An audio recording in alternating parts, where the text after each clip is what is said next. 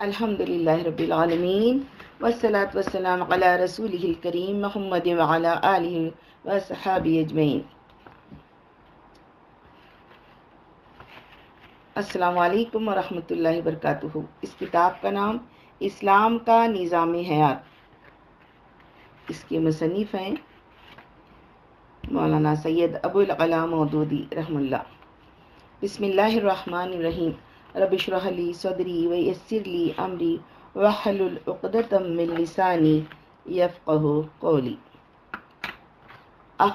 निज़ाम इंसान के अंदर अखलाकी हिस्स एक फितरी हिस्स है जो बाज़ सिफ़ात को पसंद और बाज़ दूसरी सिफ़ात को नापसंद करती है ये हिस्स इनफरादी तौर पर अशख़ास में चाहे कम व बेश हो मगर मजमू तौर पर इंसानियत के शूर ने अखलाक के बाज़ अवसाफ़ पर खूबी का अवसाफ़ पर खूबी का और बाज़ पर बुराई का हमेशा एकसा हुक्म लगाया है। सच्चाई, इंसाफ, पास अहद और अमानत को हमेशा से इंसानी अखलाकियात में तारीफ़ का मुस्तक समझा गया है और कभी कोई ऐसा दौर नहीं गुज़रा जब झूठ, जुल्म, बदअहदी और ख़यानत को पसंद किया गया हो। हमदर्दी, रहम, फयाजी और फ़राख दिली की हमेशा कदर की गई है और ख़ुद गर्जी संगदिली, बुखल और तंग नज़री को कभी इज़्ज़त का मुकाम हासिल नहीं हुआ। सब्र तहमुल इस्तलाल बुरदबारी उलज़मी व शुजात हमेशा से वह औसाफ रहे हैं जो दाद के मुस्तक समझे गए और बेसब्री, छिचोरापन, तलो उन मिजाजी, पस्त, हौसलगी और बुजदिली पर कभी तहसीन व आफरीन के फूल नहीं बरसाए गए। जब्त नफ्स, खुददारी, शाइस्तगी और मिलनसारी का शुमार हमेशा से खूबियों में होता रहा और कभी ऐसा नहीं हुआ कि बंदगी नफ्स, कमजरफी, बदतमीज़ी और कद और कुछ खलकी ने अखलाकी महासिन की फहरिस्त में जगह पाई हो। फ़र्ज़ शनासी, वफाशारी, मुस्तादी और एहसास ज़िम्मेदारी की हमेशा इज़्ज़त की गई और ना फ़र्ज़ शनास बेवफा, कामचोर और गैर जिम्मेदार को कभी अच्छी निगाह से नहीं देखा गया। इसी तरह इज्तमाही ज़िंदगी के अच्छे और बुरे अवसाफ के मामले में भी इंसानियत का फ़ैसला मुतफ़ ही रहा। कदर की मुस्तक हमेशा वो सोसाइटी रही है जिसमें नफ्ज व इंजबात हो, ताउन और इमदाद बाहमी हो, आपस की मोहब्बत और खैर ख्वाही हो, इज्तमाही इंसाफ और माशरती मसावत हो, तफरक़ा, इंतशार बदनज़ीवी बेजाबतगी, ना इतफ़ाक़ी और आपस की बदख्वाही, जुल्म और नाहमवारी को इज्तमाही ज़िंदगी के महासिन में कभी शुमार नहीं किया गया। ऐसा ही मामला किरदार की नेकी और बदी का भी है। चोरी, जिना, कत्ल, डाका, जालसाजी और रिश्वतखोरी कभी अच्छे अफ़ाल नहीं समझे गए। बदजुबानी, मरदम आज़ादी गईबत चुगलखोरी हसद, बहतान, तराशी और फसाद अंगेज़ी को कभी नेकी नहीं समझा गया। मक्कार मुतकबिर रियाकार, मुनाफिक हट धर्म और हरीस लोग कभी भले आदमियों में शुमार नहीं किए गए।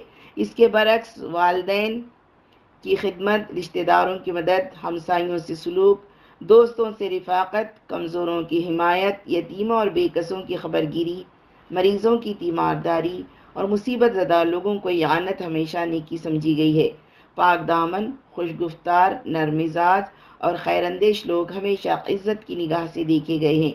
इंसानियत अपना अच्छा अंसर उन्हीं लोगों को समझती रही है जो रास्तबाज और खैरंदेश हों, जिन पर हर मामले में अतमाद किया जा सके, जिनका ज़ाहिर व बातिन इकसा और कौल फ़ेल मुताबिक हो, जो अपने हक पर कानी और दूसरों के हकूक़ अदा करने में फ़राग दिल हों। जो अमन से रहें और दूसरों को अमन दें, जिनकी ज़ात से हर एक को खैर की उम्मीद हो और किसी को बुराई का अंदेशा न हो। इससे मालूम हुआ कि इंसानी अखलाकियात दरअसल आलमगीर हकीकतें हैं, जिनको सब इंसान जानते हैं और हमेशा से जानते चले आ रहे हैं। नेकी और बदी कोई छुपी हुई चीज़ें नहीं हैं कि इनको कहीं कहीं से ढूंढ कर निकालने की ज़रूरत हो। वो तो इंसानियत की जानी पहचानी चीज़ें हैं, जिनका शूर आदमी की फितरत में विदियत किया गया है। यही वजह है कि कुरान मजीद अपनी ज़बान में नेकी को मरूफ और बदी को मुनकर के अल्फाज से ताबीर करता है। यानी नेकी वो चीज़ है जिसे सब इंसान भला जानते हैं और मुनकर वो जिसे कोई खूबी और भलाई की हैसियत से नहीं जानता। इसी हकीकत को कुरान दूसरे अल्फाज में यूँ बयान करता है, फलहमहा, फजूरहा व तकवाहा, यानी नफ्स इंसानी को खुदा ने भलाई और बुराई की वाकफियत इल्हामी तौर पर अता रखी है। अब सवाल ये है कि अगर अखलाक की भलाई और बुराई जानी पहचानी चीज़ें हैं और दुनिया हमेशा बाज़ सिफ़ात के नेक और बास के बद होने पर मुतफ़िक रही है तो फिर दुनिया में ये मुख्तलिफ़ अखलाक़ी निज़ाम कैसे हैं? उनके दरमियान फ़र्क किस बिना पर है? क्या चीज़ है जिसके बायस हम कहते हैं कि इस्लाम अपना एक मुस्तकल अखलाकी निज़ाम रखता है? और अखलाक के मामले में आखिर इस्लाम का वो ख़ास अतिया कंट्रीब्यूशन क्या है जिसे उसकी इम्तियाजी खसूसत कहा जा सके?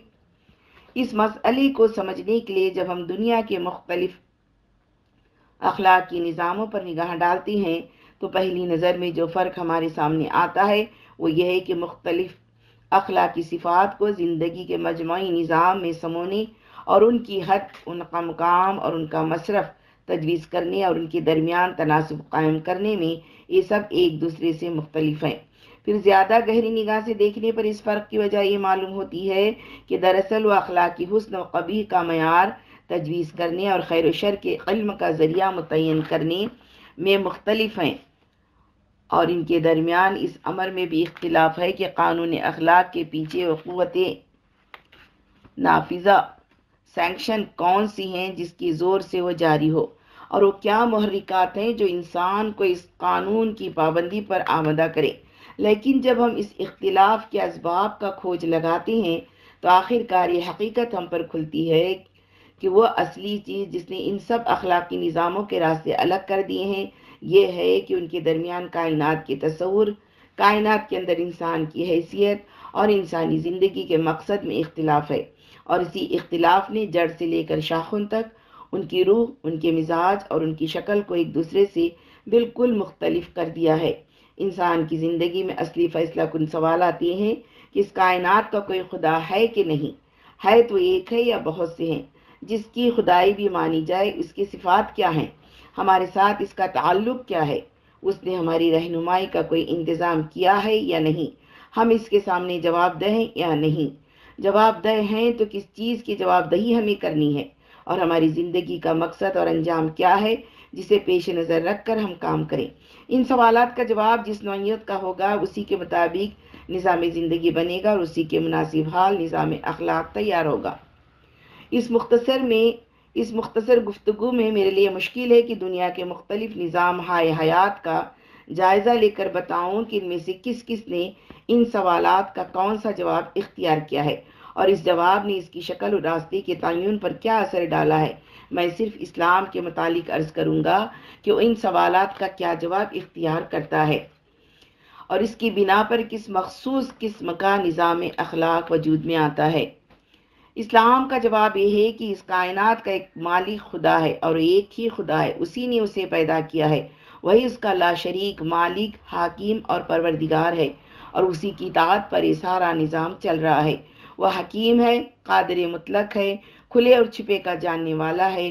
सुबह कुद्दूस है, यानी गैब, ख़ता, यानी ऐब, ख़ता, कमज़ोरी और नुक्स से पाक है और उसकी खुदाई ऐसे तरीक़े पर कायम है जिसमें लाग लपेट और टेढ़ नहीं है।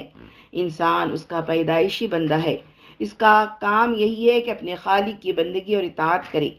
इसकी ज़िंदगी के लिए कोई सूरत वजह इसके सही नहीं है कि वह सरासर खुदा की बंदगी हो। इस बंदगी का तरीक़ा तजवीज़ करना इंसान का अपना काम नहीं है, बल्कि उस खुदा का काम है जिसका वो बंदा है।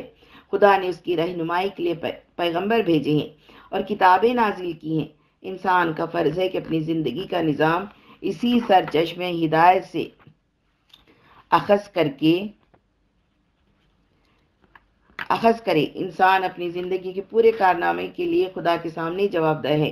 और ये जवाबदही उसी इस दुनिया में नहीं, बल्कि आखिरत में करनी है।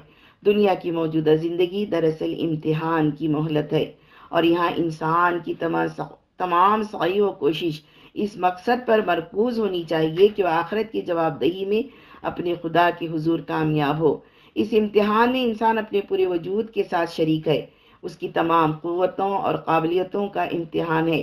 पूरी कायनात में जिस चीज़ से जैसा कुछ भी सबका पेश आता है, उसकी बेलाग जाँच होती है कि इंसान ने उसके साथ कैसा मामला किया।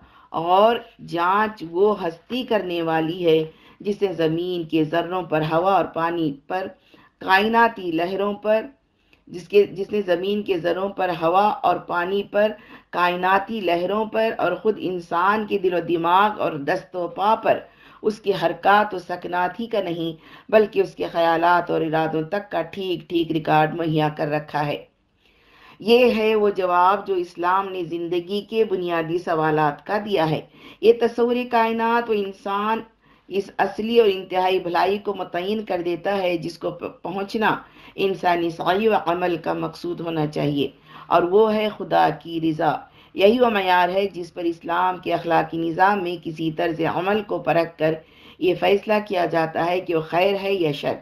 उसके तयन से अखलाक को महवर मिल जाता है, जिसके गिर्द पूरी अखलाकी ज़िंदगी घूमती है और इसकी हालत बेलंगर किसी जहाज़ की नहीं रहती कि हवा के झोंके और समंदर के थपेड़े उसे हर तरफ़ दौड़ाते फिरें। ये तयन एक मरकज़ी मकसद सामने रखता है जिसके लिहाज से ज़िंदगी में तमाम अखलाकी सिफ़ात की मुनासिब हदें मुनासिब जगहें और मुनासिब अमली सूरतें मुकर हो जाती हैं और हमें वो मुस्तक़ल अखलाकी कदरें हाथ लग जाती हैं जो तमाम बदले हुए हालात में अपनी जगह साबित और कायम रह सकें। फिर सबसे बड़ी बात यह है कि रज़ा इलाही के मकसूद पा जाने से अखलाक को एक बुलंद तरीन गायत मिल जाती है। जिसकी बदौलत अखलाकी, इर्तिका के इम्कान लामतनाही हो सकते हैं और किसी मरहले पर भी अगराज परस्ती की आलाइशें इसको मुलविस नहीं कर सकती मैार देने के साथ इस्लाम अपने इसी तस्वरी कायनात व इंसान से हमको अखलाकी हुसन कभी के इल्म का एक मुस्तकल ज़रिया भी देता है। उसने हमारे अखलाकी इल्म को महज अक्ल या ख्वाहिशात या तजुर्बी या इंसानी पर मुनहसर नहीं कर दिया है। कि हमेशा उनके बदले हुए फैसलों से हमारे अखला के अहकाम भी बदलते रहें और उन्हें कोई पायदारी नसीब ही ना हो सके।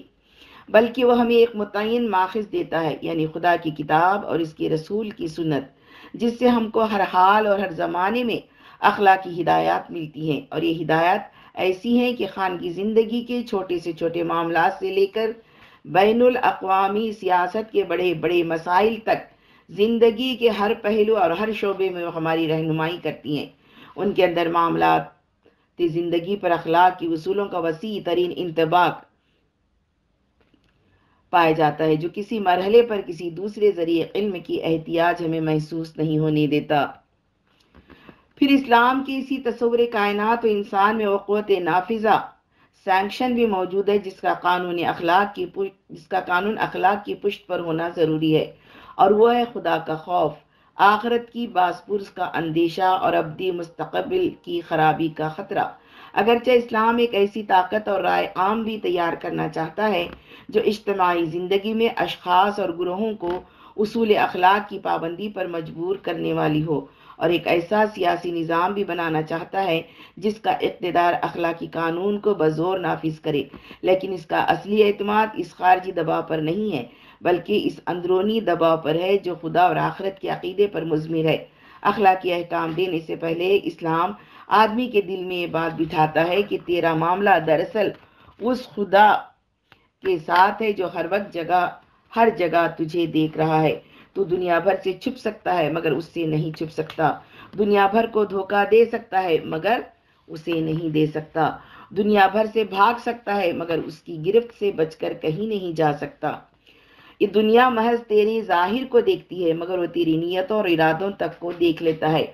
दुनिया की थोड़ी सी ज़िंदगी में तो चाहे कुछ कर ले, बहरहाल तुझे एक दिन मरना है और इस अदालत में तुझे हाजिर होना है, जहाँ वकालत, रिश्वत, सिफारिश, झूठी शहादत, धोखा और फरेब कुछ न चल सकेगा और तेरे मुस्तकबिल का बेलाग फैसला हो जाएगा।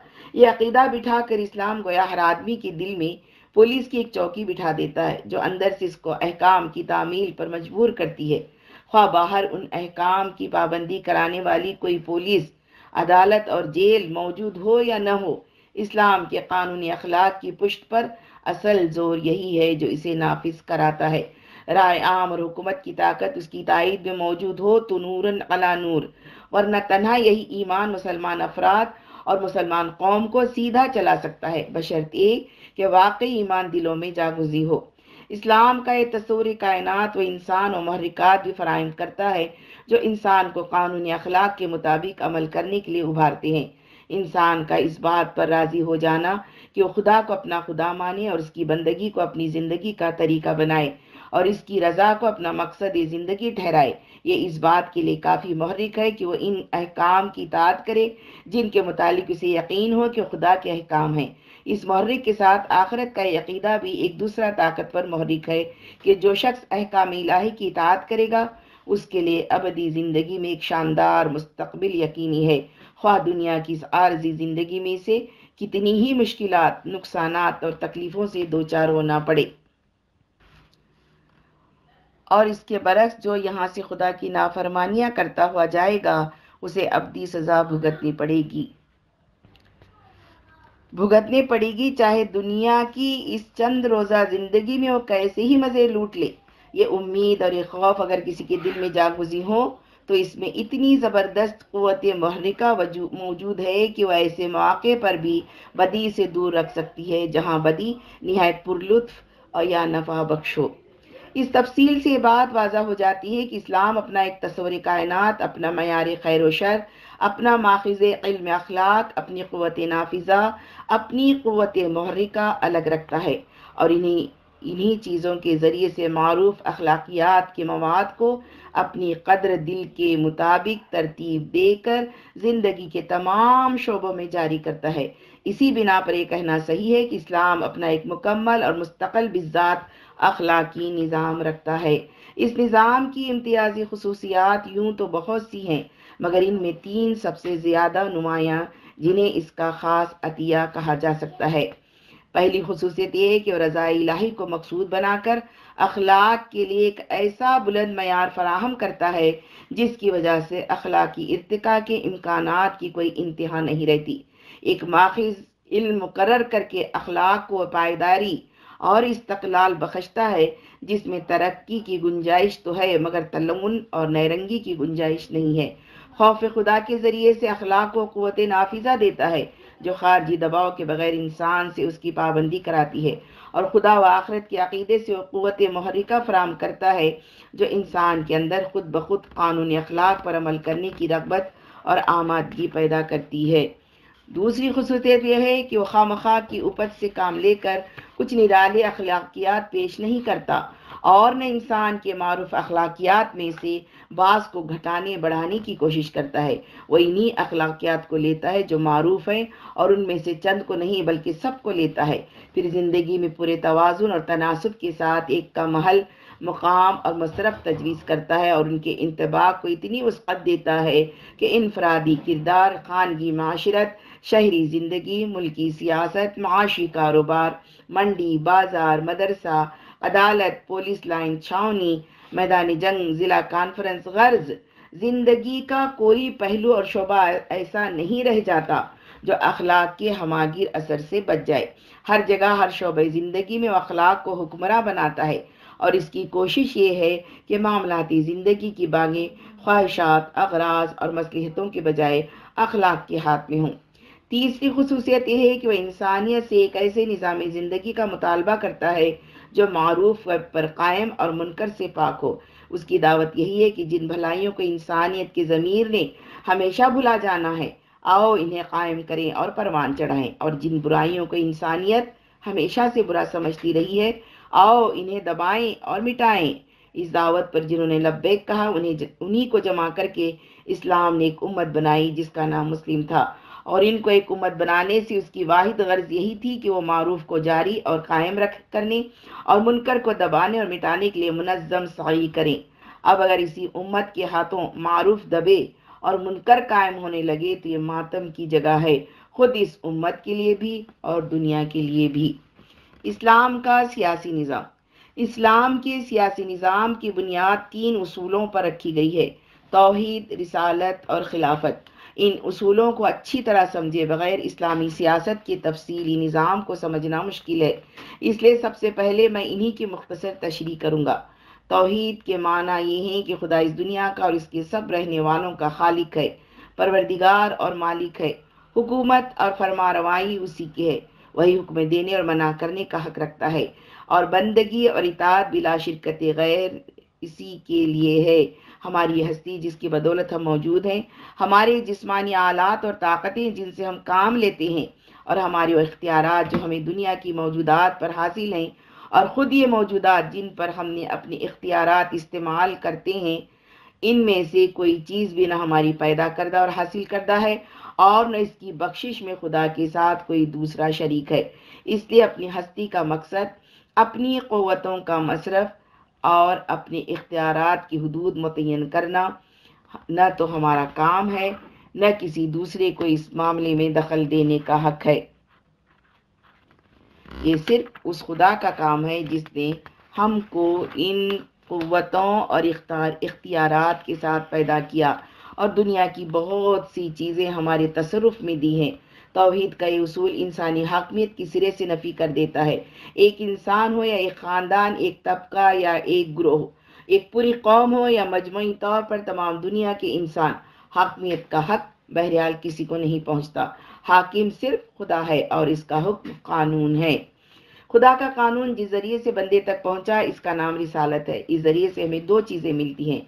एक किताब जिसमें खुद खुदा ने अपना कानून बयान किया है दूसरे किताब की मुस्तनद तशरी, जो रसूलुल्लाह ने खुदा का नुमाइंदा होने की हैसियत से अपने कौल अमल के ज़रिए पेश किए हैं। खुदा की किताब में वो तमाम असूल बयान कर दिए गए हैं, जिन पर इंसानी ज़िंदगी का निज़ाम कायम होना चाहिए, और रसूल ने किताब की इस मंशा के मुताबिक अमलन एक निज़ामी ज़िंदगी बनाकर, चलाकर और इसकी ज़रूरी तफसीलात बताकर हमारे लिए एक नमूना कायम कर दिया है।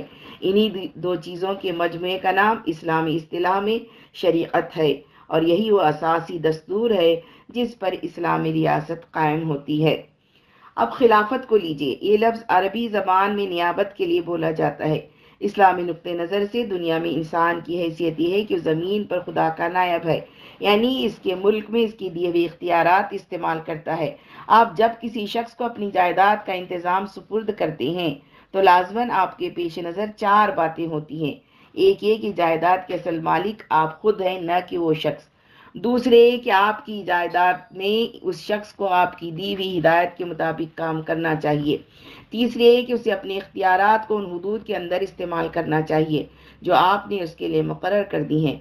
चौथे ये कि आपकी जायदाद में से, में उसे आपका मंशा पूरा करना होगा, न कि अपना। ये चार शर्तें नियाबत के तस्वूर में इस तरह शामिल हैं कि नायब का लफ्ज़ बोलते ही खुद ब खुद इंसान के जहन में आ जाती हैं। अगर कोई नायब इन चारों शर्तों को पूरा न करे तो आप कहेंगे कि नियाबत के हदूद से तजावज़ कर गया और उसने वो माहदा तोड़ दिया जो नियाबत के आयन मफहम में शामिल था।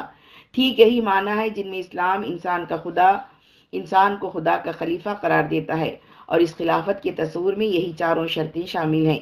इस नज़रिए सियासी की रूह से जो रियासत कायम होगी वो दरअसल खुदा की हाकमियत के तहत इंसानी खिलाफत होगी जिसे खुदा के मुल्क में इसकी दी हुई हिदायत के मुताबिक इसके मुकर की हुई हदूद के अंदर काम करके इसका मंशा पूरा करना होगा। खिलाफत की इस तशरी के सिलसिले में इतनी बात और समझ लीजिए कि इस माना में इस्लामी नजरी सियासी किसी एक शख्स या ख़ानदान या तबके को खलीफा करार नहीं देता। बल्कि उस पूरी सोसाइटी को खिलाफत का मनसब सौंपता है, जो तोहद और रिसालत के बुनियादी असूलों को तस्लीम करके नियाबत की शर्तें पूरी करने पर आमदा हो। ऐसी सोसाइटी बहसीत मजमू खिलाफत की हामिल है और ये खिलाफत उसके हर हर फर्द को पहुँचती है। यही वह नुकता है जहाँ इस्लाम में जमहूरीत की इब्तदा होती है। इस्लामी माशरे का हर हर फर्द खिलाफत के हकूक़ और इख्तियार रखता है। इन हकूक़ व इख्तियार में तमाम अफराद बिल्कुल बराबर के हिस्सेदार हैं। किसी को किसी पर न तरजीह हासिल है और न यही हक पहुँचता है कि उसे इन हकूक़ व इख्तियार से महरूम कर सके। रियासत का नज्म नस्क चलाने के लिए जो हुकूमत बनाई जाएगी वह इन्हीं अफराद की मर्ज़ी से बनेगी। यही लोग अपने इख्तियार खिलाफत का एक हिस्सा इसे सौंपेंगे। इसके बनने में उनकी राय शामिल होगी और इनके मशवरे ही से वो चलेगी। जो इनका अतमाद हासिल करेगा, वो उनकी तरफ़ से खिलाफत के फ़रज़ अंजाम देगा। और जो उनका अतमाद खो देगा, उसे हुकूमत के मनसब से हटना पड़ेगा। इस लिहाज से इस्लामी जमहूरियत एक मुकम्मल जमहूरियत है। इतनी ही मुकम्मल जितनी कोई जमहूरियत मुकम्मल हो सकती है।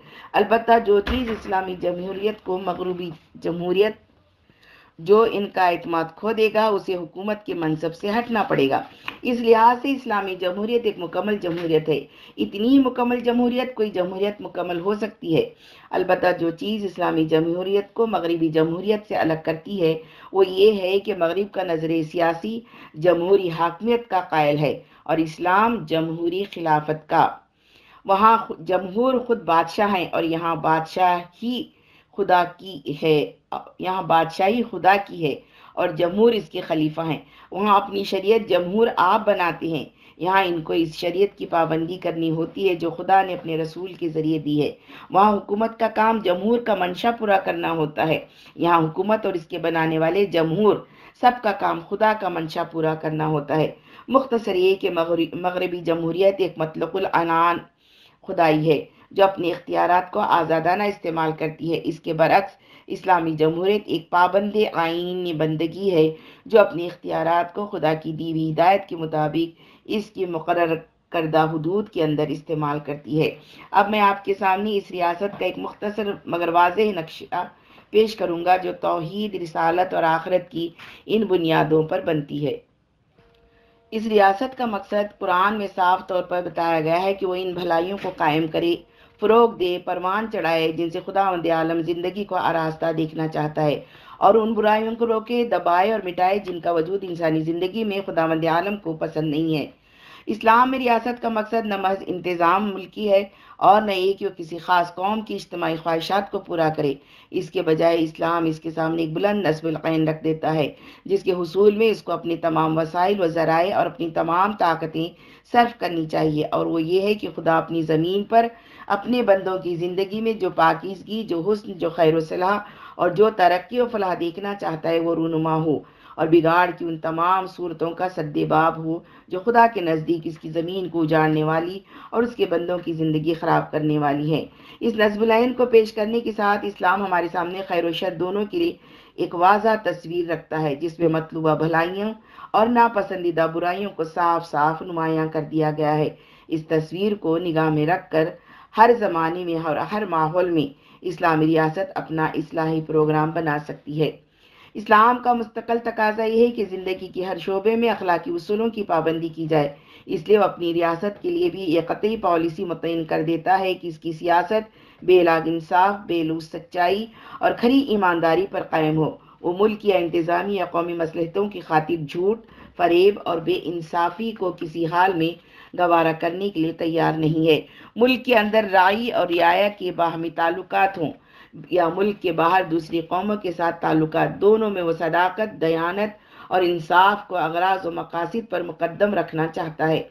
मुसलमान अफराद की तरह मुस्लिम रियासत पर भी वो ये पाबंदी आयद करता है कि अहद करो तो उसे वफा करो।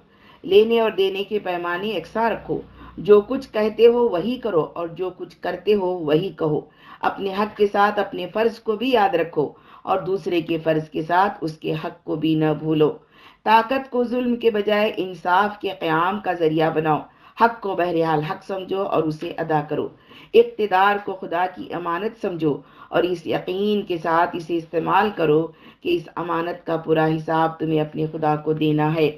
इस्लामी रियासत अगरचे ज़मीन के किसी ख़ास खत्े ही में कायम होती है, मगर वह न इंसानी हकूक़ को एक जोग्राफ़ी हद में महदूद रखती है और न शहरीत के हकूक़ को जहाँ तक इंसानियत का ताल्लुक है। इस्लाम हर इंसान के लिए चंद बुनियादी हकूक़ करार देता है और हर हाल में उनके एहतराम का हुक्म देता है। ख्वा वह इंसान इस्लामी रियासत की हदूद में रहता हो या उससे बाहर। ख्वा दोस्त हो या दुश्मन। ख्वा सुलह रखता हो या बरसरी जंग हो। इंसानी खून हर हालत में मोहतरम है और हक के बगैर उसे नहीं बहाया जा सकता। औरत, बच्चे, बूढ़े, बीमार और ज़ख्मी पर दस्त दराजी करना किसी हाल में जायज़ नहीं। औरत की इसमत बहरहाल एहतराम की मुस्तक है और उसे बेआबरू नहीं किया जा सकता। भूखा आदमी रोटी का, नंगा कपड़े का और ज़ख्मी या बीमार आदमी इलाज का और तीमारदारी का बहरहाल मुस्तक है। ख्वा व दुश्मन कौम से ताल्लुक़ रखता हो। ये और ऐसे ही चंद दूसरे हकूक़ इस्लाम ने इंसान को बहसीत इंसान अता किए हैं। और इस्लाम रियासत के दस्तूर में उनको बुनियादी हकूक़ की जगह हासिल है। रहे शहरीत के हकूक़ तो वो भी इस्लाम सिर्फ़ इन्हीं लोगों को नहीं देता जो इसकी रियासत के हदूद में पैदा हुए हों, बल्कि हर मुसलमान ख्वा दुनिया के किसी गोशे में पैदा हुआ हो। इस्लामी रियासत के हदूद में दाखिल होते ही आप से आप इसका शहरी बन जाता है और पैदाइशी शहरियों के बराबर हकूक़ का मुस्तक करार पाता है। दुनिया में जितनी इस्लामी रियासतें भी होंगी, इन सब के दरमियान शहरीत मुश्तरक होगी। मुसलमान को किसी इस्लामी रियासत में दाखिल होने के लिए पासपोर्ट की ज़रूरत न होगी। मुसलमान किसी नस्ली, कौमी या तबकातीन इम्तियाज़ के बगैर हर इस्लामी रियासत में बड़े से बड़ी ज़िम्मेदारी के मनसब का अहल हो सकता है।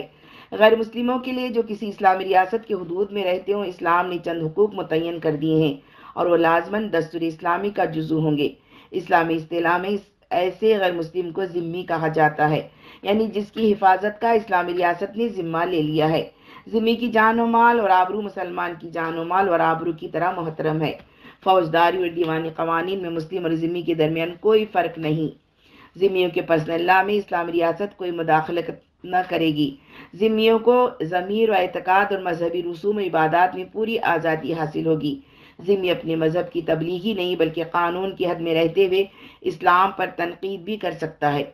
यह और ऐसे बहुत से हकूक़ इस्लामी दस्तूर में गैर मुस्लिम रिया को दिए गए हैं। और ये मुस्तकल हकूक़ हैं जिन्हें उस वक्त तक सल्ब नहीं किया जा सकता, जब तक वो हमारी ज़िम्मे से खारिज न हो जाएँ। कोई गैर मुस्लिम हुकूमत अपनी मुस्लिम रियाया पर चाहे कितने ही जुल्म ढाए, एक इस्लामी रियासत के लिए इसके जवाब में अपनी गैर मुस्लिम रिया पर शरीयत के ख़िलाफ़ ज़रा सी दस्तर, दराजी करना भी जायज़ नहीं। हती कि हमारी सरहद के बाहर अगर सारे मुसलमान कत्ल कर दिए जाए तब भी हम अपनी हद में एक ज़िम्मी का खून हक के बगैर नहीं बहा सकते। इस्लामी रियासत की इंतज़ाम की ज़िम्मेदारी एक अमीर के सपुर्द कर दी जाएगी, जिसे सदर जमहूरिया की मुमासिल समझना चाहिए। अमीर के इंतखा में उन तमाम बालिग मर्दों और औरतों को राय देने का हक होगा, जो दस्तूर के उसूलों को तस्लीम करते हों। इंतखब की बुनियाद ये होगी कि रूह इस्लाम की वाकफियत इस्लामी सीरत, खुदा तरसी और तदब्बर के एतबार से कौन शख्स सोसाइटी के ज़्यादा से ज़्यादा लोगों का अतमाद रखता है? ऐसे शख्स को अमारत के लिए मुंतखब किया जाएगा। फिर उसकी मदद के लिए एक मजलिस शुरा बनाई जाएगी और वो भी लोगों की मुंतखब करदा होगी। अमीर के लिए लाजिम होगा कि मुल्क का इंतज़ाम अहल शुरा के मशूरे से करे। एक अमीर उसी वक्त तक हुक्मरान रह सकता है जब तक लोगों का अतमाद उसे हासिल होगा। अदम अतमाद की सूरत में उसे जगह खाली करनी होगी। और जब तक वो लोगों का अतमाद रखता है, उसे हुकूमत के पूरे इख्तियार हासिल हो रहेंगे और वो शुरा की अक्सरियत के मुकाबले अपना वेटो इस्तेमाल कर सकेगा। अमीर और उसकी हुकूमत पर आम शहरियों को को नुकताचीनी का पूरा हक हासिल होगा। रियासत, इस्लामी रियासत में कानून साजी इन हदूद के अंदर होगी जो शरीयत में मुकर कर दी गई हैं। खुदा और रसूल के अहकाम सिर्फ़ इतात के लिए हैं कोई मजलिस कानून साज, इनमें रद्द बदल नहीं कर सकती। रहे वह अहकाम जिनमें दो या ज़्यादा ताबीरें मुमकिन हैं तो इनमें शरीयत का मंशा मालूम करना उन लोगों का काम है, जो शरीयत का इल्म रखते हैं। इसलिए ऐसे मामला मजलिस शुरा की इस सब कमेटी के सुपुर्द किए जाएँगे, जो उल्मा पर मुश्तमिल होगी। इसके बाद एक वसी मैदान उन मामला का है, जिनमें शरीयत ने कोई हुक्म नहीं दिया। ऐसे तमाम मामला में मजलिस शुरा कवानीन बनाने में दीनी हदूद के अंदर अंदर आज़ाद है। इस्लामी, इस्लाम में अदालत इंतज़ामी हुकूमत के मातहत नहीं। इस्लाम में अदालत इंतज़ामी हुकूमत के मातहत नहीं, बल्कि बरह रास्त खुदा की नुमाइंदा और उसकी जवाबदा होती है। हाकमान अदालत को मुकर तो इंतज़ामी हुकूमत ही करेगी, मगर जब एक शख्स अदालत की कुर्सी पर बैठ जाएगा तो खुदा के कानून के मुताबिक लोगों के दरमियान बेलाग इंसाफ करेगा और इस इंसाफ की जद से हुकूमत भी न बच सकेगी। हती कि खुद हुकूमत के रईस आला को भी मुद्दई या मुद्दाले की हैसियत से उसके सामने इस तरह हाजिर होना पड़ेगा जैसे आम शहरी होता है। इस्लाम का माशरती निज़ाम। इस्लाम के माशरती निज़ाम का संग बुनियाद ये नज़रिया है कि दुनिया के सब इंसान एक नस्ल से हैं। खुदा ने सबसे पहले एक इंसानी जोड़ा पैदा किया था, फिर इसी जोड़े से वो सारे लोग पैदा हुए जो दुनिया में आबाद हैं। इब्तदा में एक मुद्दत तक इस जोड़ी की औलाद एक ही उम्मत बनी रही, एक ही उसका दीन था, एक ही उसकी ज़बान थी, कोई इख्तिलाफ उसके दरमियान न था। मगर जूँ जूँ उनकी तादाद बढ़ती गई, वो ज़मीन पर फैलते चले गए और इस फैलाव की वजह से कुदरती तौर पर मुख्तलिफ़ नस्लों, कौमों और कबीलों में तकसीम हो गए उनकी ज़बानें अलग हो गई, उनके लिबास अलग हो गए, रहन सहन के तरीके अलग हो गए और जगह जगह की आबहवा ने उनके रंग रूप और खद खाल तक बदल दिए। ये सब इख्तलाफात, फितरी इख्तलाफात हैं। वाक़ियत की दुनिया में मौजूद हैं। इसलिए इस्लाम इनको बतौर एक वाक़े की तस्लीम करता है वह इनको मिटाना नहीं चाहता, बल्कि उनका ये फ़ायदा मानता है कि इंसानों का बाहमी तारुफ और ताउन इसी सूरत से मुमकिन है। लेकिन इन इख्तलाफात की बिना पर इंसानों में रंग, ज़बान, कौमियत और वतनीत के जो तसुबात पैदा हो गए हैं, इन सबको इस्लाम गलत करार देता है। इंसान और इंसान के दरमियान ऊंच नीच शरीफ और कमीन अपने और गैर के जितने फ़र्क पैदाइश की बुनियाद पर कर लिए गए हैं, इस्लाम के नज़दीक ये सब जाहिलियत की बातें हैं। वो तमाम दुनिया के इंसान से कहता है कि तुम सब एक माँ और एक बाप की औलाद हो, लिहाजा एक दूसरे के भाई हो और इंसान होने की हैसियत से बराबर हो। इंसानियत का तस्वर इख्तियार करने के बाद इस्लाम कहता है कि इंसान और इंसान के दरमियान असली फ़र्क अगर वो कोई हो सकता है तो रंग नस्ल वतन और ज़बान का नहीं, बल्कि ख्याल अखलाक और असूलों का हो सकता है। एक माँ के दो बच्चे अपने नसब के लिहाज से चाहे एक हों, लेकिन अगर उनके ख्यालात और अखलाक एक दूसरे से मुख्तलिफ़ हैं तो ज़िंदगी में दोनों की राहें अलग हो जाएँगी। इसके बरक्स मशरक़ और मगरब के इंतहाई फासले पर रहने वाले दो इंसान अगरचे ज़ाहिर में कितने ही एक दूसरे से दूर हों, लेकिन अगर ख्याल में मुतफिक हैं और अखलाक मिलते जुलते हैं तो उनकी ज़िंदगी का रास्ता एक होगा। इस नज़रिए की बुनियाद पर इस्लाम दुनिया के तमाम नस्ली, वतनी और कौमी माशरों के बरक्स एक फ़िक्री, अखलाकी और उसूली माशरा तामीर करता है, जिसमें इंसान और इंसान की मिलने की बुनियाद उसकी पैदाइश नहीं, बल्कि एक अकीदा और एक अखलाकी जबता है। हर वो शख्स जो खुदा को अपना मालिक व मबूद माने और पैगम्बरों की लाई हिदायत को अपना कानून ज़िंदगी तस्लीम करे, इस माशरे में शामिल हो सकता है। ख्वा अफ्रीका का रहने वाला हो या अमेरिका का ख्वा वो सामी नस्ल का हो या आर्या नस्ल का? ख्वा वो काला हो या गोरा? ख्वा वो हिंदी बोलता हो या अरबी? जो इंसान भी इस माशरे में शामिल होंगे, उन सब के हकूक़ और माशरती मरतबे एकसा होंगे। किसी किस्म की नस्ली, कौमी या तबकाती इम्तियाज़ात उनके दरमियान न होंगी।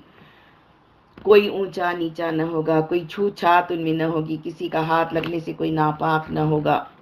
शादी ब्याह और खाने पीने और मजलिसी मेल जोल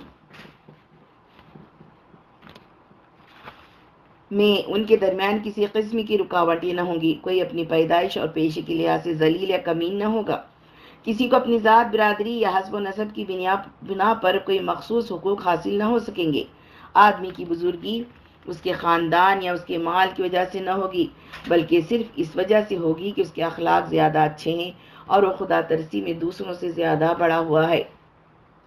यह ऐसा माशरा है जो नस्ल, रंग और ज़बान की हदबंदियों और जुग्राफियाई सरहदों को तोड़कर रोए ज़मीन के तमाम खत्ों पर फैल सकता है और इसकी बुनियाद पर इंसानों की एक आलमगीर बिरादरी कायम हो सकती है। नस्ली और वतनी माशरों में तो सिर्फ़ वो लोग शामिल हो सकते हैं जो किसी नस्ल या वतन में पैदा हुए हों। इससे बाहर के लोगों पर ऐसे माशरे का दरवाज़ा बंद होता है, मगर इस फिक्री और उसूली माशरे में हर वो शख्स बराबर के हकूक़ के साथ शामिल हो सकता है जो एक अकीदे और एक और एक अखलाकी जबते को तस्लीम करे।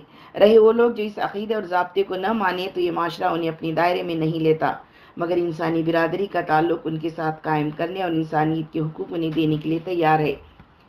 ज़ाहिर बात है कि अगर एक माँ के दो बच्चे ख्याल में मुख्तलिफ़ हैं तो उनके तरीक़े ज़िंदगी बहरहाल मुख्तलिफ़ होंगे।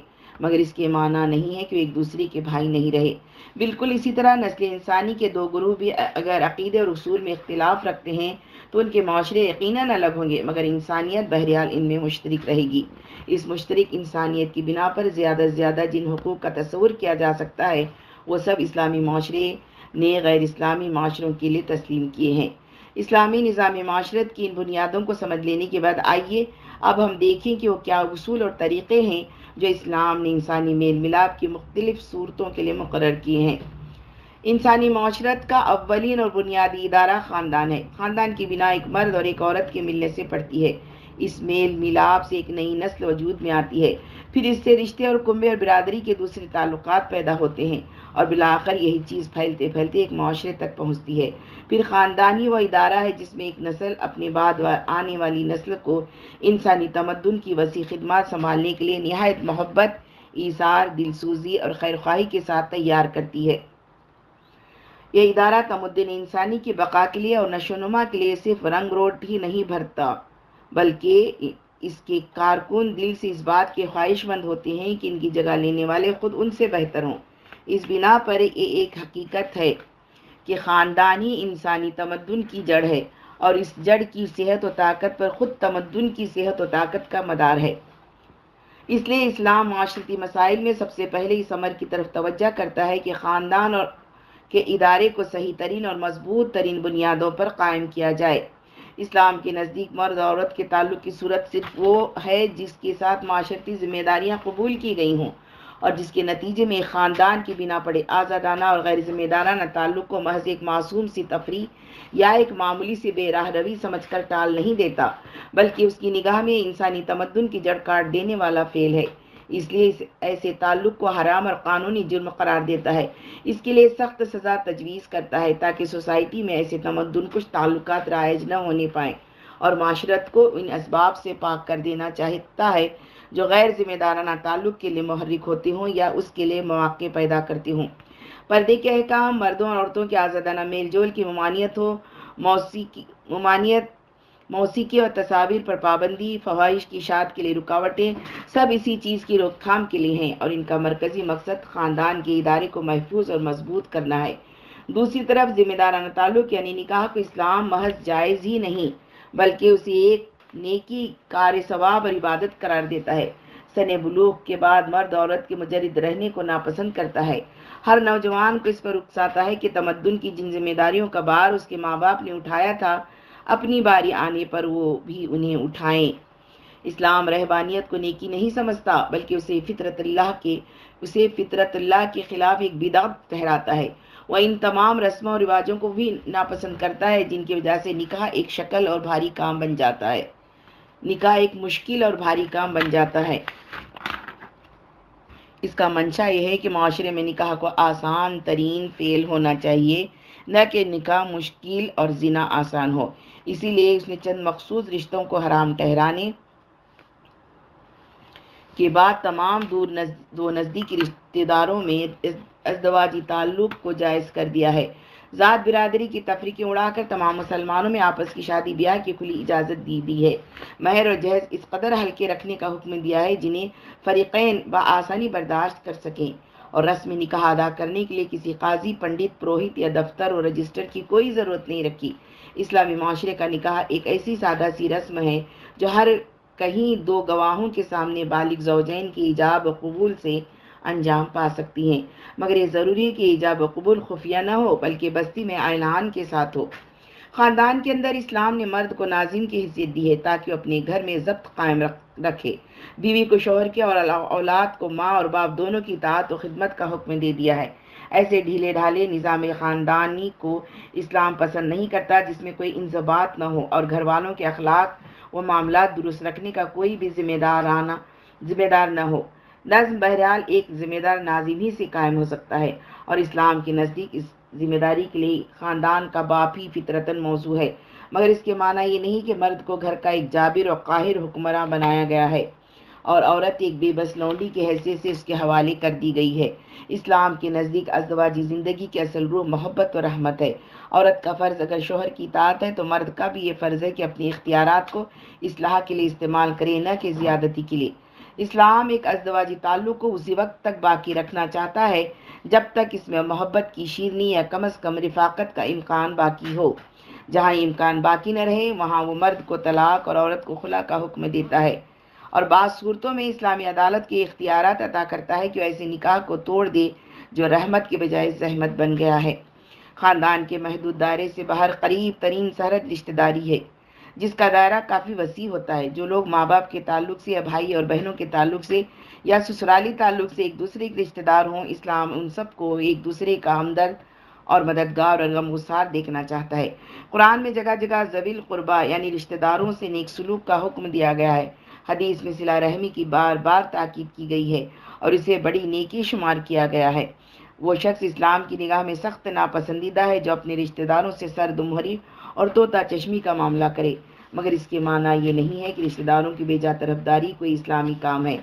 अपने कुंबे की ऐसी हिमायत जो हक के खिलाफ हो, इस्लाम के नज़दीक जाहिलियत है। इसी तरह अगर हुकूमत का कोई अफसर पब्लिक के खर्च पर अकरबा परवरी करने लगे या अपने फैसलों में अपने अजीज़ों के साथ बेजा रियायत करने लगे तो ये भी इस्लामी काम नहीं है, बल्कि एक शैतानी हरकत है।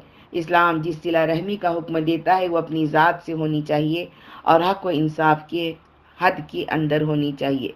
रिश्तेदारी के ताल्लुक के बाद दूसरा करीब तरीन ताल्लुक हमसायगी का है। कुरान की रूह से हमसाइयों की तीन किस्में हैं। एक रिश्तेदार हमसाया, दूसरा अजनबी हमसाया और तीसरा वारजी हमसाया, जिसके पास बैठने चलने का आदमी को इत्तेफाक हो।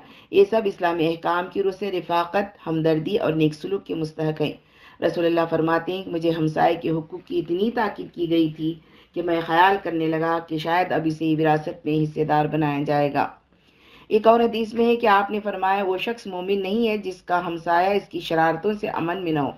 एक दूसरी हदीस में आपने फरमाया वो शख्स ईमान नहीं रखता जो खुद पेट भर कर खाए और इसका हमसाया इसके पहलू में भूखा रह जाए। एक मरतबा रसूलुल्लाह से अर्ज़ किया गया कि एक औरत बहुत नमाजें पढ़ती है, अक्सर रोज़े रखती है, खूब खैरात करती है, मगर इसकी बदजुबानी से पड़ोसी आजिज़ हैं। आपने फरमाया, वो दो है लोगों ने अर्ज़ किया कि एक दूसरी औरत है जिसमें ये खूबियाँ तो नहीं है, मगर वो पड़ोसियों को तकलीफ़ भी नहीं देती। फरमाया, वो जन्नती है। रसोल्ला ने लोगों को यहाँ तक ताकीद फरमाई थी कि अपने बच्चों के लिए अगर फल लाओ तो या तो हमसाए के घर भी, भी भेजो वरना छिलके बाहर न फेंको ताकि गरीब हमसाए का दिल न दुखे।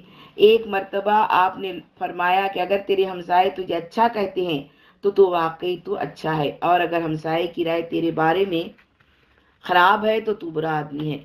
मुख्तसर एक इस्लाम इन सब लोगों को एक दूसरे के पड़ोसी हों आपस में हमदर्द मददगार और शरीक रंज और राहत देखना चाहता है। इन सब के दरमियान ऐसे ताल्लुकात कायम करना चाहता है कि वो सब एक दूसरे पर भरोसा करें और एक दूसरे के पहलू में अपनी जान माल और आबरू को महफूज समझें।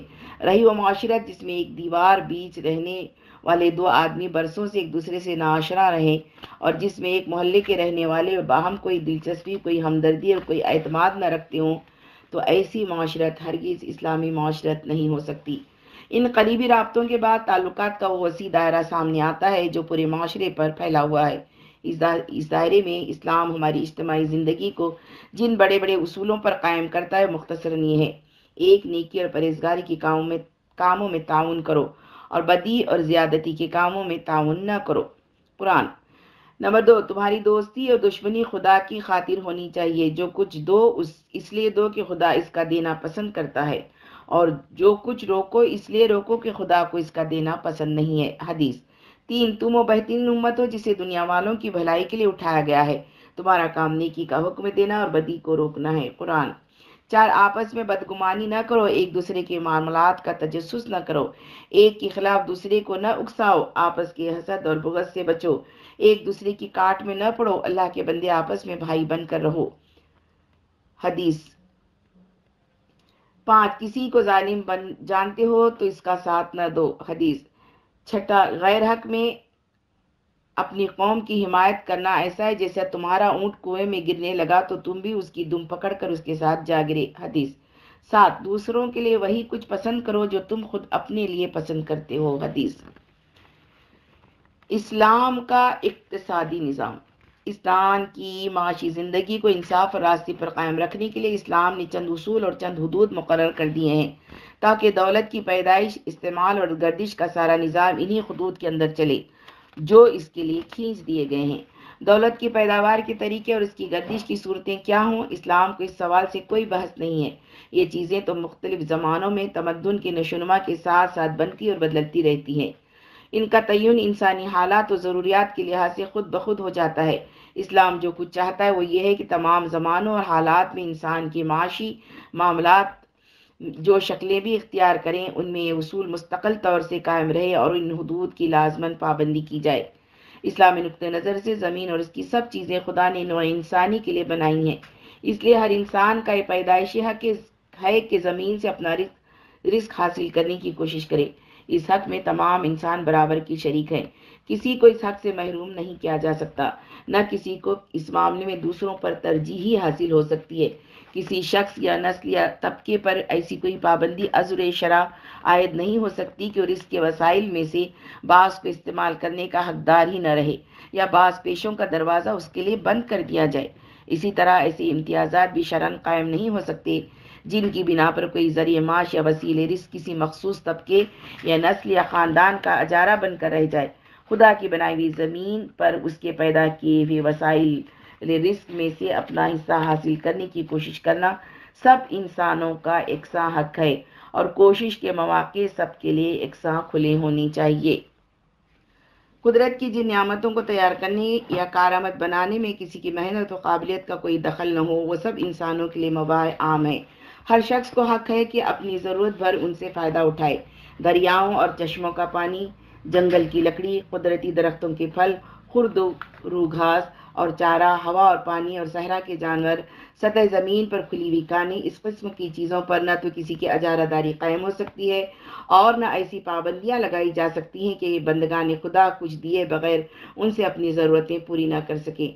हाँ जो लोग तिजारती अगराज के लिए बड़े पैमाने पर इनमें से किसी चीज़ को इस्तेमाल करना चाहें तो इन पर टैक्स लगाया जा सकता है। खुदा ने जो चीज़ें इंसान के फ़ायदे के लिए बनाई हैं, इन्हें लेकर बेकार डाल देना सही नहीं है। या तो इनसे खुद फ़ायदा उठाओ, वरना छोड़ दो, ताकि दूसरे इससे मतमता हों।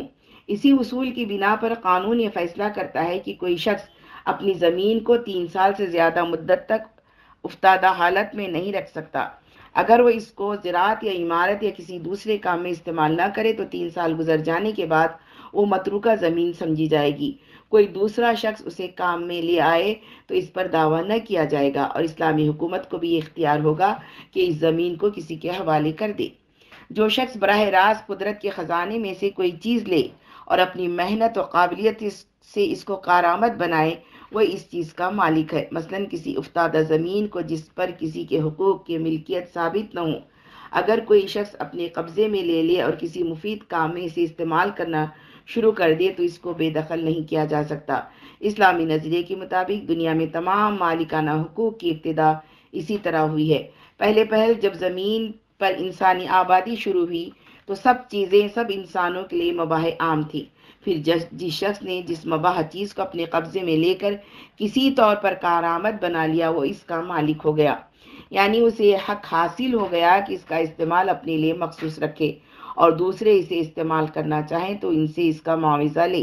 ये चीज़ इंसान के सारे माशी मामला की फितरी बुनियाद है और इस बुनियाद को अपनी जगह कायम रहना चाहिए। जायज़ शरी तरीक़ों से जो मालकाना हकूक़ किसी को दुनिया में हासिल हों, वो बहरहाल एहतराम के मुस्तक हैं। कलाम अगर हो सकता है तो इस अमर में हो सकता है कि कोई मिल्कियत शरण सही है या नहीं। जो मिल्कियतें अजुर शरा नाजायज़ हों, उन्हें बेशक ख़त्म हो जाना चाहिए। मगर जो मिल्कियतें शरण सही हों, किसी हुकूमत या किसी मजलिस कानून साज को यह हक नहीं है कि उन्हें सल्ब कर ले या उनके मालिकों के शरी हकूक़ में किसी किस्म की कमी बेशी करे इज्तमाही बेहतरी का नाम लेकर कोई ऐसा निज़ाम कायम नहीं किया जा सकता जो शरीयत के दिए हुए हकूक़ को पामाल करने वाला हो। जमात के मफाद के लिए, अफराद की मिल्कियतों पर जो पाबंदियाँ शरीयत ने खुद ही लगा दी हैं, इनमें कमी करना जितना बड़ा जुल्म है, इतना ही बड़ा जुल्म उन पर इजाफा करना भी है। इस्लामी हुकूमत के फ़राइज़ में से है कि अफराद के शरी हकूक़ की हिफाजत करे और उनसे जमात के वो हकूक़ वसूल करे जो शरीयत ने उन पर आयद किए हैं। खुदा ने अपनी नियामतों की तकसीम में मसावत मलहूज नहीं रखी है, बल्कि अपनी हमत की बिना पर बाज़ इंसानों को बाज़ पर फजीलत दी है। हुस्न, खुश आवाज़ी, तंदुरुस्ती, जिसमानी ताकतें, दिमाग, दिमागी काबिलियतें, पैदाइशी माहौल और इसी तरह की दूसरी चीज़ें सब इंसानों को एक साथ नहीं मिली। ऐसा ही मामला रिस्क का भी है। खुदा की बनाई हुई फितरत खुद इसकी मतकाजी है कि इंसान के दरमियान रिस्क में तफावत हो। लिहाजा तमाम तदबीरें इस्लामी नुक़ नज़र से मकसद और रसूल में गलत हैं, जो इंसानों के दरमियान एक मसनू माशी मसावत कायम करने के लिए इख्तियार की जाएँ। इस्लाम जिस मसावत का कायल है, वो रिस्क में मसावत नहीं, बल्कि हसूल रिस्क की जद्दोजहद के मौाक़े में मसावत है। वो चाहता है कि सोसाइटी में ऐसी कानूनी और रिवाजी रुकावटें बाकी न रहें जिनकी बिना पर कोई शख्स अपनी क़वत व इस्तेदाद के मुताबिक माशी जद्दोजहद न कर सकता हो और ऐसे इम्तियाज़ात भी कायम न रहें जो बाज़ तबकों, नस्लों और ख़ानदानों की पैदाइश खुश नसीबी को मुस्तकल कानूनी तहफ़ात में तब्दील कर देते हों। ये दोनों तरीके फितरी नामासावत की जगह ज़बरदस्ती एक मसनवी मसावत कायम करते हैं। इसलिए इस्लाम इन्हें मिटाकर सोसाइटी के माशी निज़ाम को ऐसी फितरी हालत पर ले आना चाहता है जिसमें हर शख्स के लिए कोशिश के मौाक़े खुले हों। मगर जो लोग चाहते हैं कि कोशिश के ज़राए और नतज में भी सब लोगों को ज़बरदस्ती बराबर कर दिया जाए, इस्लाम इनसे मुतफिक नहीं है, क्योंकि वह फितरी नामसावत को मसनवी मसावत में तब्दील करना चाहते हैं। फितरत से करीब तर निज़ाम वही हो सकता है जिसमें हर शख्स मीशत के मैदान में अपनी दौड़ की इब्तदा इसी मुकाम और इसी हालत से करे, जिस पर खुदा ने उसे पैदा किया है। जो मोटर लिए हुए आया है, वो मोटर ही लिए चले। जो सिर्फ़ दो पाँव लाया है, वो पैदल ही चले। और जो लंगड़ा पैदा हुआ है, वो लंगड़ा कर ही चलना शुरू करे। सोसाइटी का कानून, न तो ऐसा होना चाहिए कि वो मोटर वाले का मुस्तकल अजारा मोटर पर कायम कर दे और लंगड़े के लिए मोटर का हसूल नामुमकिन बना दे।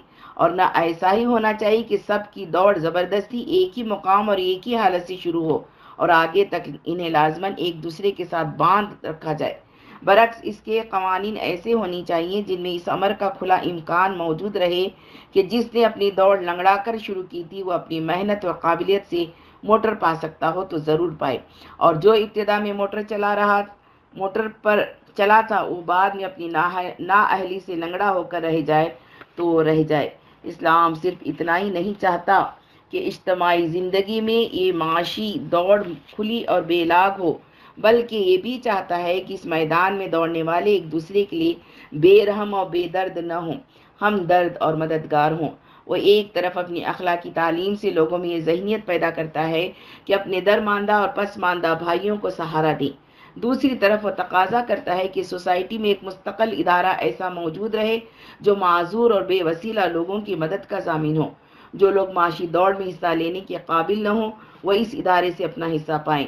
जो लोग इतफाक़ाती ज़माने से इस दौड़ में गिर पड़े हों, इन्हें इदारा उठाकर फिर चलने के काबिल बनाएँ।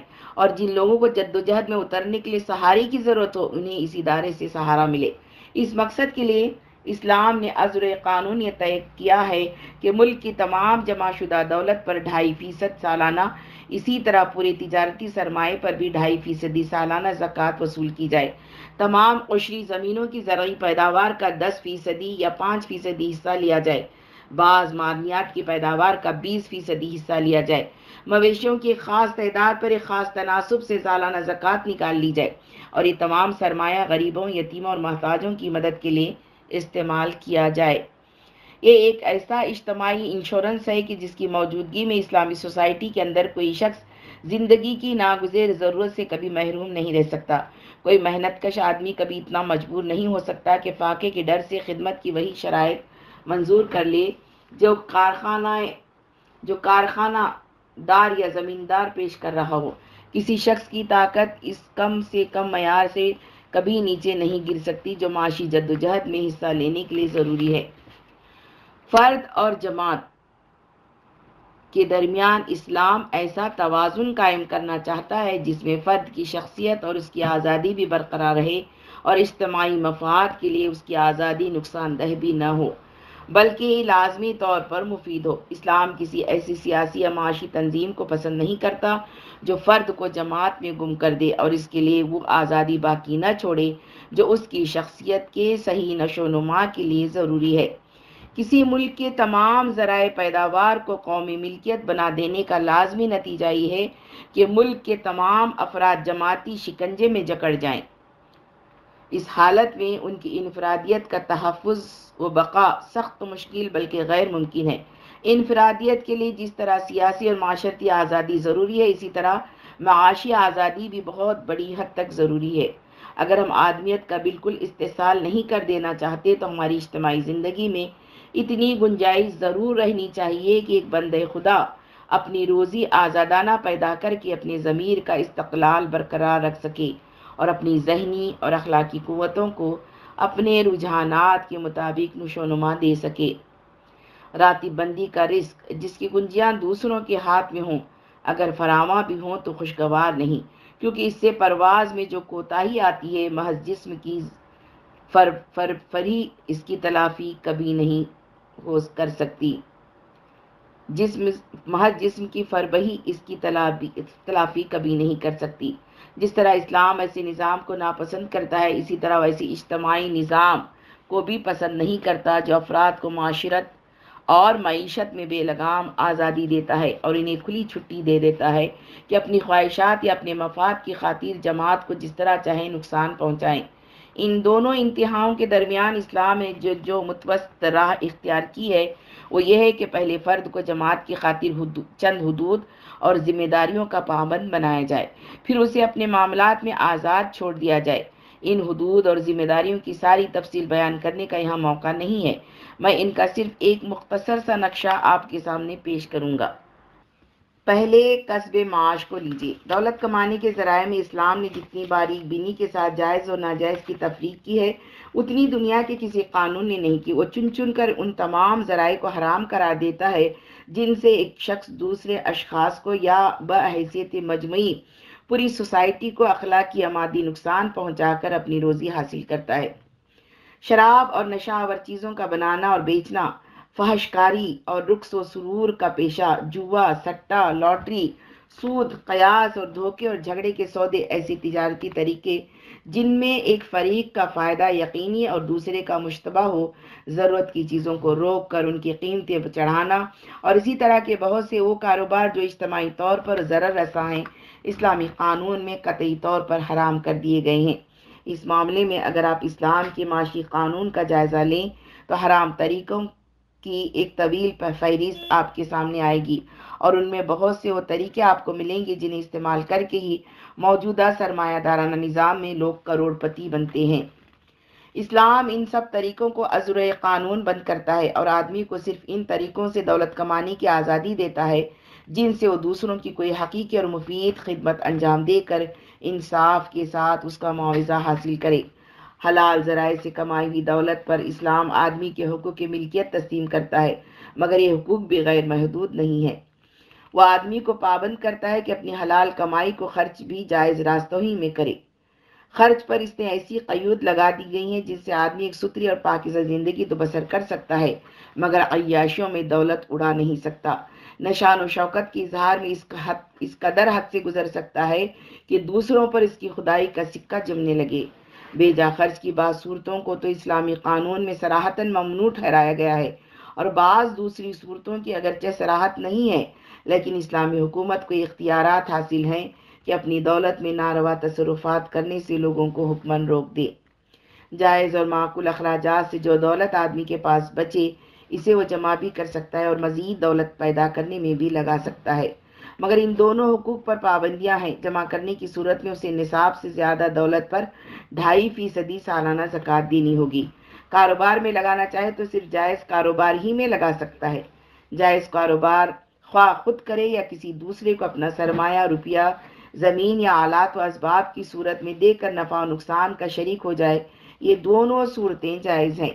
इन हदूद के अंदर काम करके अगर कोई शख्स करोड़पति भी बन जाए तो इस्लाम की निगाह में कोई काबिल एतराज़ चीज़ नहीं है, बल्कि खुदा का इनाम है। लेकिन जमाती मफाद के लिए वो इस पर दो शर्तें आयद करता है एक एक अपनी तजारती माल पर जक़ात और ज़रिए और पैदावार पर उश अदा करे।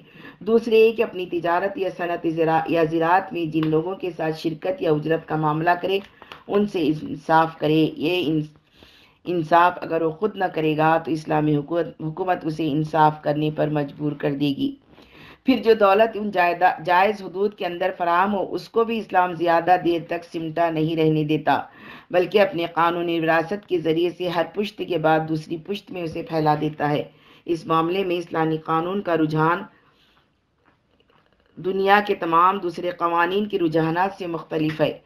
दूसरे कवानीन कोशिश करते हैं कि जो दौलत एक दफ़ा सिमट चुकी है, वो पुश्त दर पुश्त सिमटती ही रहे।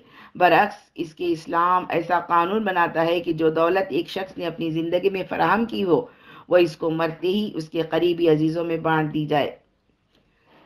करीबी अज़ीज़ न हो तो दूर के रिश्तेदार बहस से रस्ती इसके वारिस। हो और अगर वो, और अगर कोई दूर परे का रिश्तेदार भी ना हो तो फिर मुस्लिम सोसाइटी इसकी हकदार है। यह कानून किसी बड़ी सरमायादारी और ज़मींदारी को मुस्तकल और दायम नहीं रहने देता। पिछली सारी पाबंदियों के बावजूद अगर दौलत के सिमटाव से कोई ख़राबी पैदा हो भी जाए तो यह आखिरी ज़रब इसका इजाला कर देती है। इस्लाम का रूहानी निज़ाम।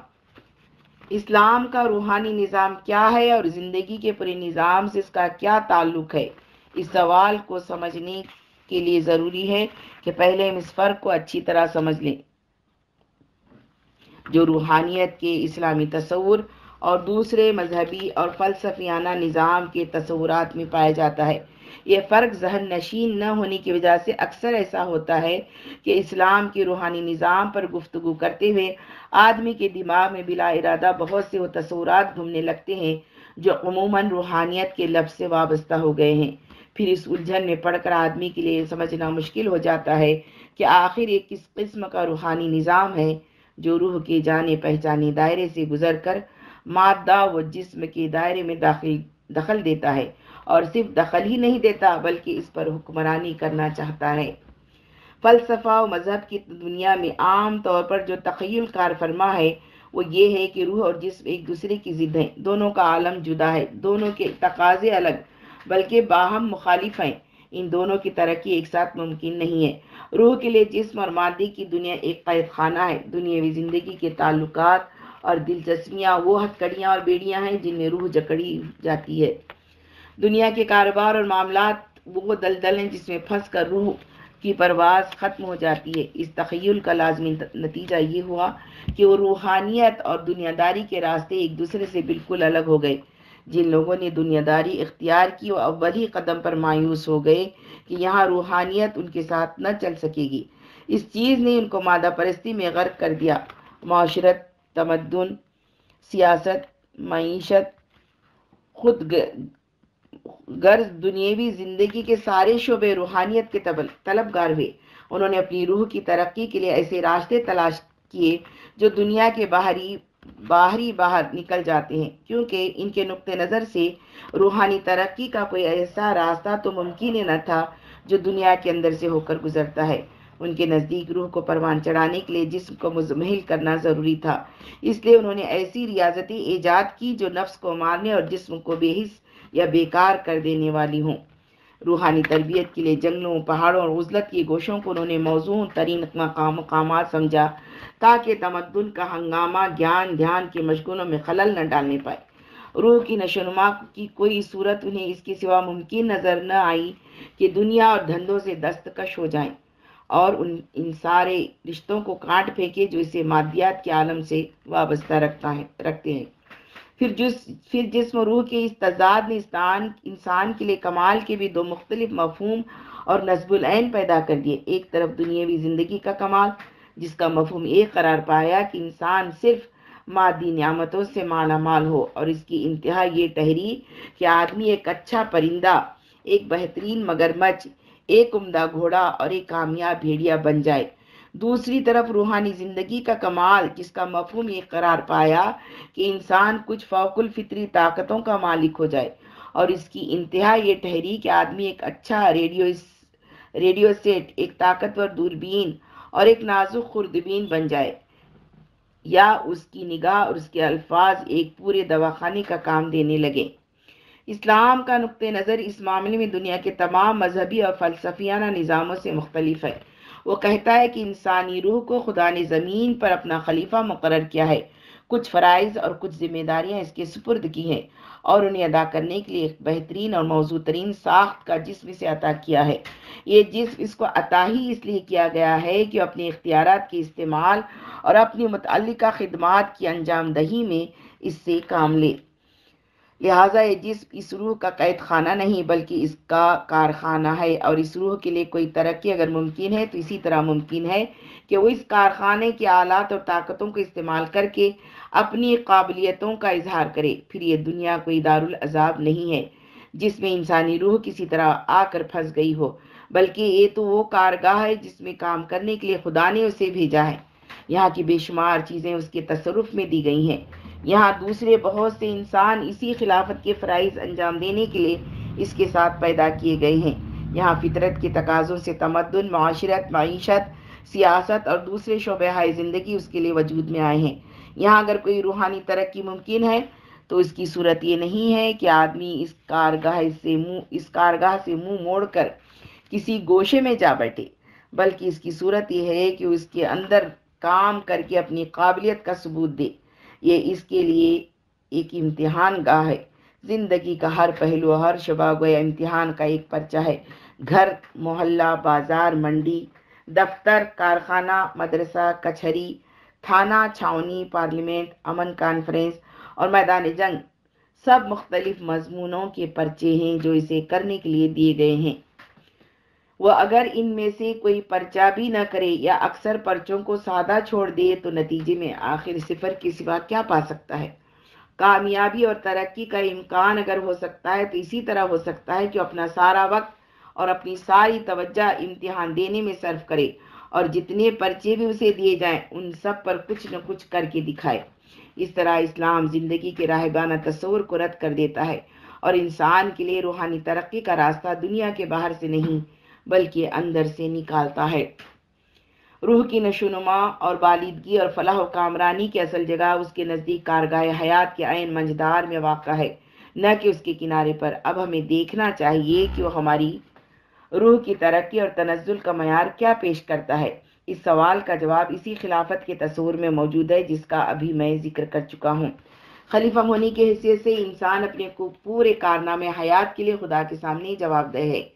इसका फ़र्ज़ ये है कि ज़मीन में जो इख्तियार और ज़राए उसे दिए गए हैं, उन्हें खुदा की मर्ज़ी के मुताबिक इस्तेमाल करने में सर्व करे। जिन मुख्तलिफ़ किस्म के ताल्लुक में दूसरे इंसानों के साथ उसे वाबस्ता किया गया है, इनमें ऐसा रवैया इख्तियार करे जो खुदा को पसंद है और फिर जुमला अपनी तमाम कोशिशें और मेहनतें इस राह में सर्फ कर दे कि ज़मीन और उसकी ज़िंदगी का इंतज़ाम इतना बेहतर हो जितना उसका खुदा देखना चाहता है।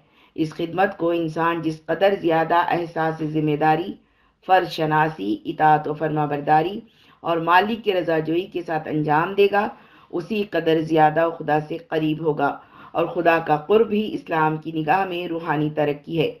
इसके बरक्स वो जितना सुस्त, कामचोर और नाफर्ज शनास होगा या जिस कदर सरकश, बागी और नाफरमा होगा, इतना ही खुदा से दूर रहेगा और खुदा से दूरी ही का नाम इस्लाम की ज़बान में रूहानी तनजुल है।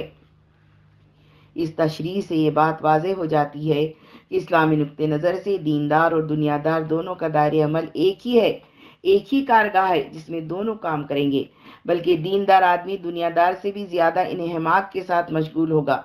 घर की चार दीवारी से लेकर बैन अवी कॉन्फ्रेंस के चौराहे तक जितने भी ज़िंदगी के मामला हैं, उन सब की जिम्मेदारियाँ दीनदार भी दुनियादार के बराबर बल्कि इससे कुछ बढ़कर ही अपने हाथों में ले लेगा। अलबत्ता, जो चीज़ उन दोनों के रास्ते अलग कर देगी, वो खुदा के साथ उनके ताल्लुक़ की नौीयत है। दीनदार जो कुछ करेगा, इस एहसास के साथ करेगा कि खुदा के सामने ज़िम्मेदार है।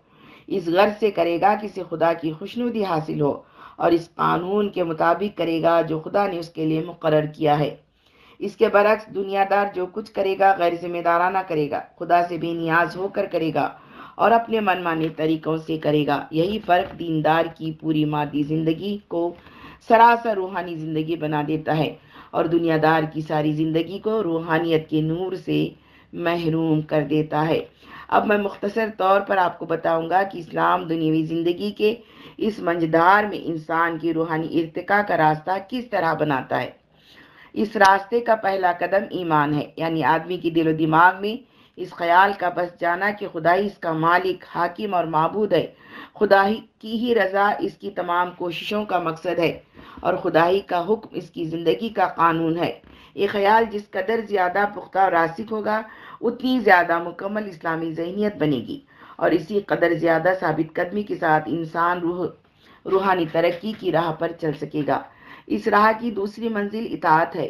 यानी आदमी का बिलफेल अपनी खुद मुख्तारी से दस्तबरदार हो जाना और अमलन उस खुदा की बंदगी इख्तियार कर लेना जिसे वक़ीदता अपना खुदा तस्लीम कर चुका है। इसी इतात का नाम कुरान की अतलाह में इस्लाम है। तीसरी मंजिल तकवा की है, जिसे आम फहम ज़ुबान में फ़र्ज़ शनासी और एहसास ज़िम्मेदारी से ताबीर कर सकते हैं। तकवा यह है कि आदमी अपनी ज़िंदगी के हर पहलू में समझते हुए काम करे कि उसे अपने अफकार अकवाल और अफ़ाल का खुदा को हिसाब देना है। हर उस काम से रुक जाए जिससे खुदा ने मना किया है। हर उस खिदमत पर कमर बस्ता हो जाए जिसका खुदा ने हुक्म दिया है। और पूरी होशमंदी के साथ हलाल व हराम, सही व गलत और खैर व शर के दरमियान तमीज़ करता हुआ चले। आखिरी और सबसे ऊँची मंजिल एहसान की है। एहसान के माना यह है कि बंदी की मर्ज़ी खुदा की मर्ज़ी के साथ मुतहद हो जाए। जो कुछ खुदा की पसंद है, बंदी की अपनी पसंद भी वही हो। और जो कुछ खुदा को नापसंद है, बंदे का अपना दिल भी उसे नापसंद करे।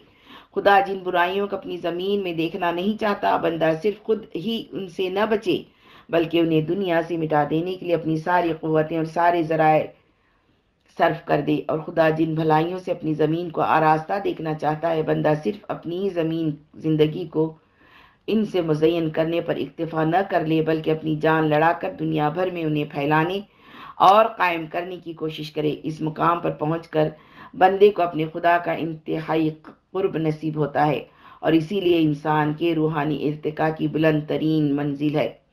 रूहानी तरक्की का रास्ता अपराधी के लिए नहीं है, बल्कि जमातों और कौमों के लिए भी है।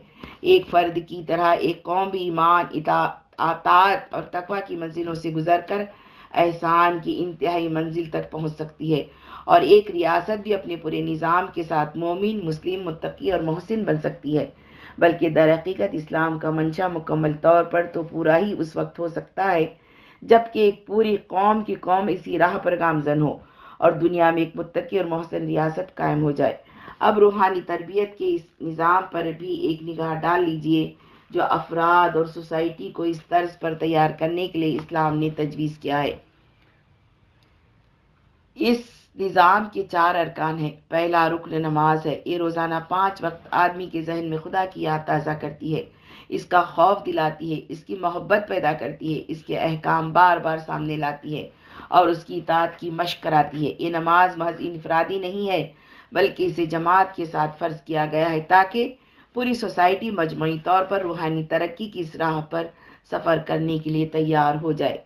दूसरा रुकन रोज़ा है जो हर साल पूरे में, एक महीने तक मुसलमान अफराद को फ़र्दन फ़र्दन और मुस्लिम सोसाइटी को बहसीत मजमू तकवा की तरबियत देता रहता है।